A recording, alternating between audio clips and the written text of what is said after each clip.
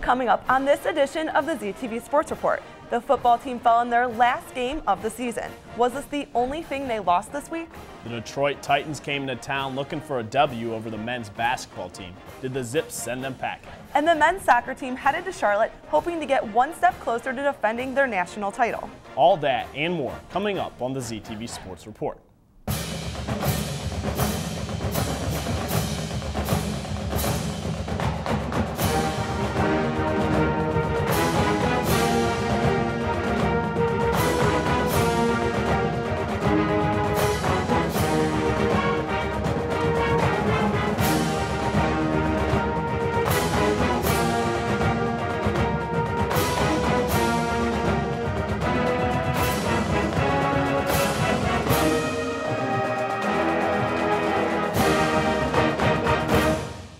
Welcome into the ZTV studios. It's the Sports Report back with you for another week of everything Akron sports.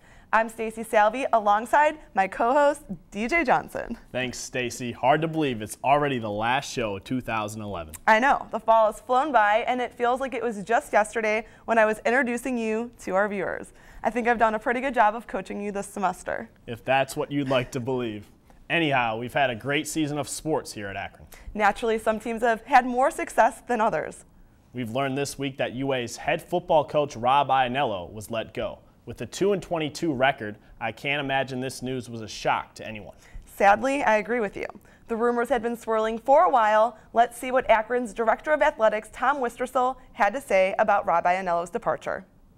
Well, ultimately, uh, you know, ultimately we need to win more games, and uh, you know, it, it's not all about winning. There's lots of other things that go into it, but. Uh, certainly we didn't feel like the program was heading in the direction we wanted it to uh, at the end of this year. And uh, so certainly winning was a factor in, uh, in the decision. How disappointing for you? I mean, he was your guy. I mean, you your first picked hire. him and Well, yeah, I mean, you know, it's disappointing because we certainly had high hopes uh, for him, and I think he's a good football coach. Uh, I think we have good football coaches on our on our staff, and uh, you know, um, so it's it's disappointing because you want to see it work. Has nothing to do with me. Has everything to do with our student athletes and the fact that I want to see them succeed, and uh, and uh, they weren't they weren't they weren't succeeding, and that's and that's disappointing. I'm crossing my fingers for Tressel or Fickell. How about you, DJ? I think you're dreaming, but let's throw it over to Dee and Coy for a recap of the Zips football season and to fill us in with the coaching hunt. Thanks, guys, and welcome to the first installment of the last episode of the semester. And man, it's been a great one. Unfortunately for the football team, things haven't gone so smooth. Combined, they are 2 and 22 over the past two years, and Rob Ianello was fired. And rumors are spreading about who will be the coach for the team next season. So, Dee, why don't you fill us in for some of the rumored candidates? Well, as you know, there's been a lot of talk about Jim Tressel. But it's also been reported most recently that Tressel is not even a candidate for the job. The name Luke Fickell was also thrown out there, but not sure if there's any truth to that. Looks like he may be staying on the staff at Ohio State with Urban Meyer. A few other names may be more realistic. Paul Winters, who was a former Zip and assistant at Akron, is now the head coach of Wayne State. And also Toledo offensive coordinator Matt Campbell. It will be interesting to see who the Zips ultimately end up with for each of those four guys you mentioned.